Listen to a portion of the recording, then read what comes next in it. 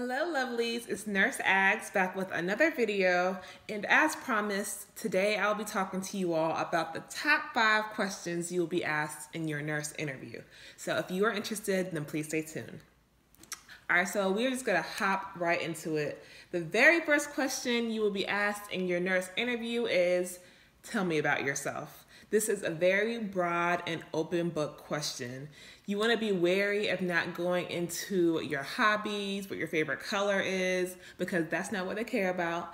Um, instead, you should talk about one, your educational background, two, your relevant experiences as it you know pertains to the position you're applying for, and then three, your goals. So, for example, you will start off saying, you know, my name is so and so. Um, I have I am a recent graduate from blank university. I have a strong or primary interest in blank. You know, it's going to be related to whatever job you're applying to, and then you'll go into talking about um, saying, you know, I've been able to develop this interest um, through various volunteer work, um, job shadowing experiences, such as, and then you're going to go ahead and list those different experiences.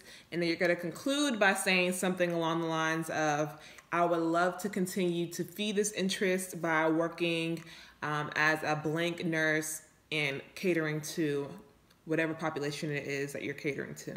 Okay, so that's just kind of an example or kind of like a outline, I guess I should say, to answer that question. All right, moving right along. The second most likely question you will be asked in your nurse interview is why nursing, or they want to know why that certain specialty um, field. So, for example, if it's a labor and deli delivery nursing position you're applying for, then they'll ask why labor and delivery nursing or why postpartum nursing, why pediatric um, nursing, et cetera, et cetera. So I would approach this question by sharing a story. Stories are very relatable and I think they're a lot more believable as well. So whether that be something in your childhood, something during your nursing clinicals, something that was illuminating during, you know, a volunteer experience, I don't know. But whatever it is, go ahead and share that story with them to kind of so they can have a better understanding as to you know why you're interested in working on that floor, that unit. Because I mean, I feel like whenever you have a strong interest for something, um, or when you're interested in something in general, then you are better at it. So I think that's why they really want to know um, why that certain area of nursing. Okay, so moving right along. The third most likely question you will be asked in your nurse interview is ugh, I think it's one of the most dreaded questions, but it's really any tell me about a time when dot dot dot. So, of course, we hate these questions because you never know what's going to come after that dot dot dot. We call these our situational questions. And the best way to prepare for these is to go ahead and to plan three examples um, to kind of be able to answer any situational question they might throw your way. So these examples I would recommend should include one, some type of conflict with um, a coworker, um, some type of conflict or disagreement with a patient or a patient, and then some type of conflict or I don't know, something that's, you know, something that happened with you yourself alone, okay? Usually with these situational questions, they are really looking to see that you're able to handle conflict, whether it's with a coworker, a healthcare provider, or um, even within yourself. Um, they also want to see that you are able to learn from your mistakes and that you are self-aware of what your mistakes are because I think it's okay. Everyone makes mistakes. That's natural. Like no one's perfect. So they're not expecting for you to be this perfect person that's never, you know, has no weaknesses, but rather they want to see that you're able to recognize when you made these mistakes and you've learned from them. And also, I think these situational questions are looking to see that you can work well under pressure. So as I kind of hinted in my last video, there are multiple ways of asking the same question. They might ask you, tell me about a time you were in emergency. That's the same way of asking, tell me about a time you were under pressure. Or they might ask you, tell me about a time you uh, made a mistake, um, what was the outcome and what did you do about it? That's the same way of asking, you know, what is your weakness? They might ask you, tell me about a time when you were in conflict. That's the same way of asking, Tell me about a time you had to intervene with a patient and what did you do? So a lot of these questions questions can be similar and that's why I say go ahead and have three strong examples to share with them in your back pocket that can address any of those questions and that will that will keep you secure right from the jump. And like I said, whenever you start practicing with, you know, your family member, mentor, um, etc., go ahead and you know that's your opportunity to see if the examples that you have kind of picked out or selected that they um, can be applicable to any situational question.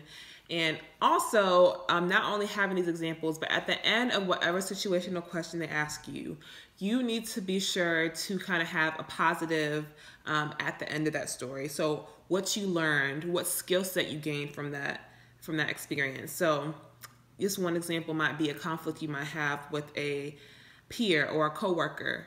So it might be something related to communication where, you know, there is one of one of y'all did not communicate to each other, you know, something. And at the end of that whole conflict, you realize the importance of communication and you've been able to really strengthen that skill set of yours and um, grow it. Boom, right there. That's something that they, they want to see that you're able to learn from each situation that you've been put in and that, you know, you can grow from them. So moving right along. Um, the fourth most likely question you will be asked in your job interview is, where do you see yourself in three years, five years, 10 years, however many years? So for this question, if you are a nurse, if you are a nurse, if you are a new nurse like I was, then for one important short-term goal is to become a competent, safe practicing nurse. Okay, that's an obvious one.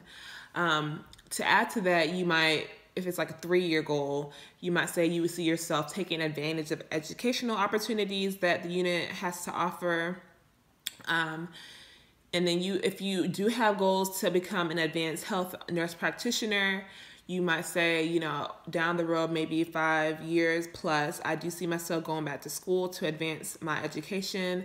You may or may not know what that looks like. Sometimes I think it might be safer to kind of um, say, I don't know what that looks like yet, because you never know, you know, if you might have to move you might have to leave that hospital.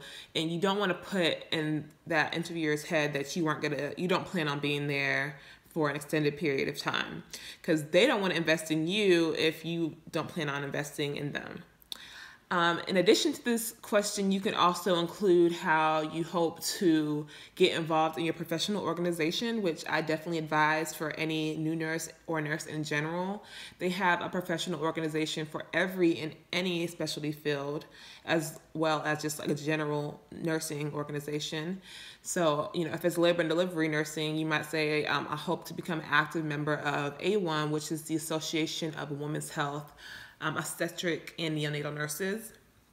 Um, and you can say like, you know, why that's important to you. It might be because you want to, you know, just really connect with other nurses who are just as passionate um, on women's health as you are, or you just want to kind of stay in the know of the latest evidence-based practices.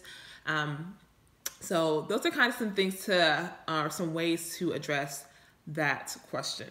Okay, hopefully that helps y'all out. And then the final and the fifth question that you will likely be asked in your nurse interview is why should we hire you? Okay, so this is a really good question because this is your opportunity to sell yourself to the interviewer. You are going to tell them, you know, not only how passionate you are in this area of nursing or nursing in general, but you are going to list to them relevant experiences that have equipped you with the skills that will be an asset to their unit.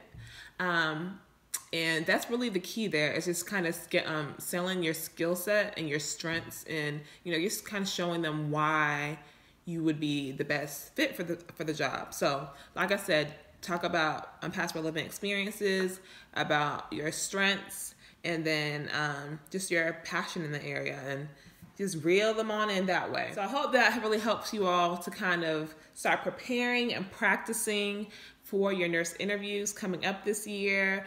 Um, as I said before, practice is the key. Um, my very first nurse interviews, they were quite rough. I'm not going to lie, but it was really like the latter interviews that I had that were a lot more smooth. And by then, like I had had so many interviews that you know, I, I, I, was able to answer the questions with ease. It was more of a conversation. And I feel like whenever you are able to make it more of a conversation with the interviewer, those are the best interviews, I'm telling you. Um, so just practice, practice, practice, you know, with family, mentor, etc. Um, please check out my last video where I you know talk all about how to prepare, pack, and practice your um, practice for your nurse interview so that you can kill it.